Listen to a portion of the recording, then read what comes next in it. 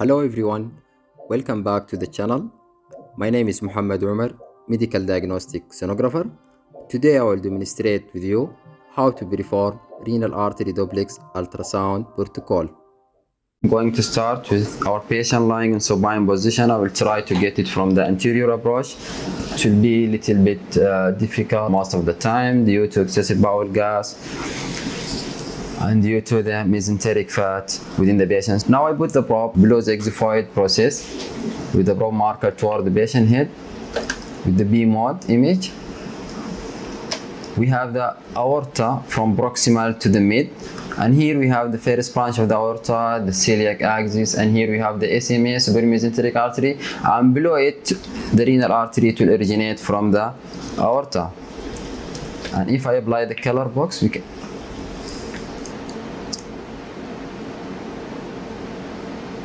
here I have the aorta and we have the celiac trunk. Then we have the SMA supramesenteric artery.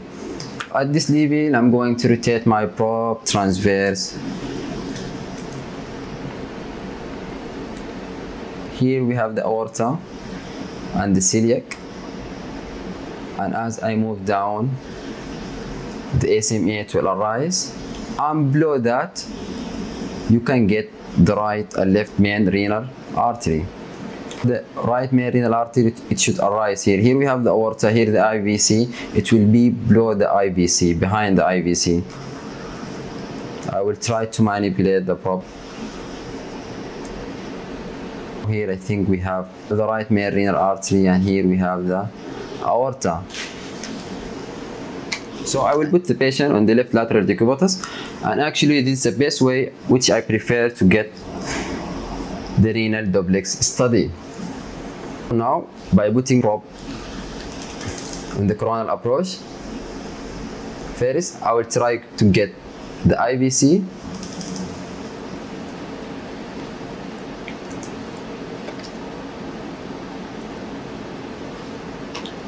we have the IVC and below it you have the aorta with right renal artery originate from here and the left renal artery originate from here. This what we call it banana peel sign. If i apply the color we'll see the image like this.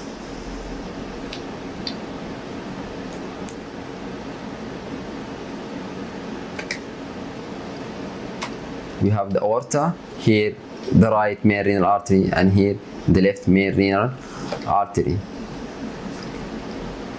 When I put my probe with coronal position, first we can see the IVC and here we have vessel which it will be the right main renal artery coming out from the aorta.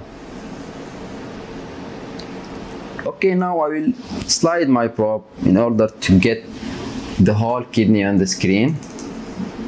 Now I will apply the color box and I will try to follow the main renal artery until the origin.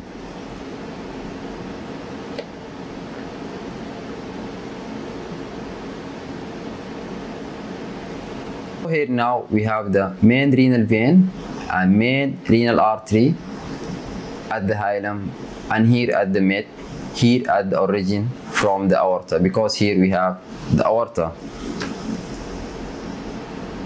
I will try to get it at the origin. I will adjust the angle.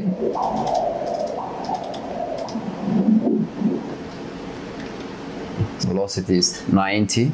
Then I will compare the velocity at the origin with the velocity of the aorta here at the aorta. Now I will adjust the angle. I think now I'm parallel to the vessel. Hold your place breath.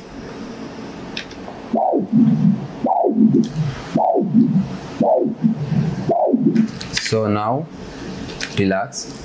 We have a velocity of approximately 120 which is considered okay compared to the velocity at the main renal artery. Going to document the main renal artery at the mid,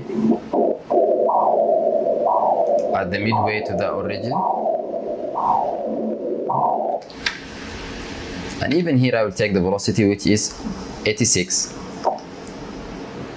then at the hilum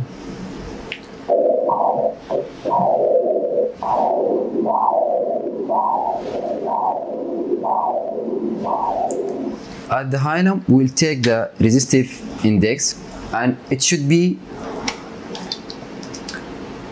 between 0.55 to 0.79 here we have the resistive index which is normal.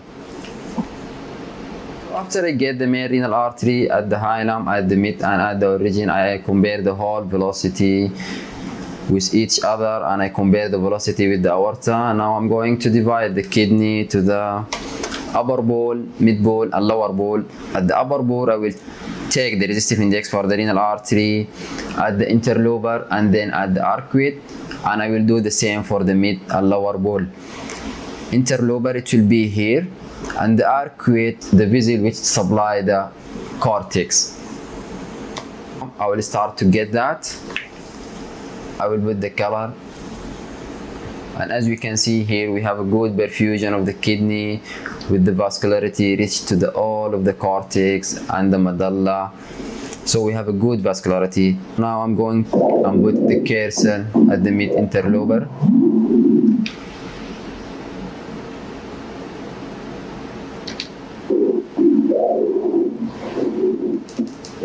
gonna ask my patient to hold his breath for me. Just please hold your breath.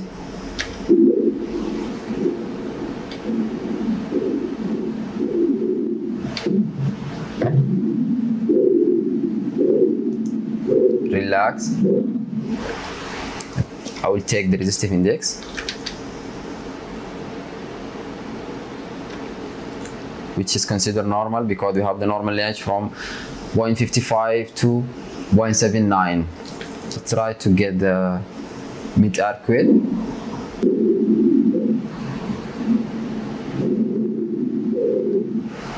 I'm going to measure the resistive index which is considered normal. So you have to do this again for the upper and lower pole. And there is one more thing that you have to make sure that your renal vein is patent here on the transverse view we have the main renal artery and the main renal vein going to take the pulse wave for the main renal vein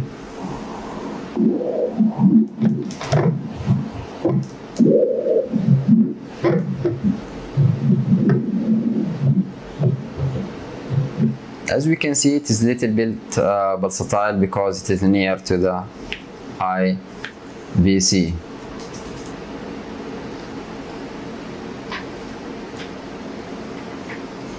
it's a kind of difficult procedure. Just first try to get the main renal artery follow it until the aorta get the velocity at the origin then compare it to the velocity of the aorta and at the midway. Then you have to take the resistive index at the renal hilum and you have to check the perfusion of the kidney and then take the resistive index for the interlobar and arcuate artery so that's all of it for the renal duplex. It's a kind of difficult procedure. It depends on the patient body habitus and also you have to be aware about the breathing technique that you should use it. And thanks for watching us for more video you can follow us on the following account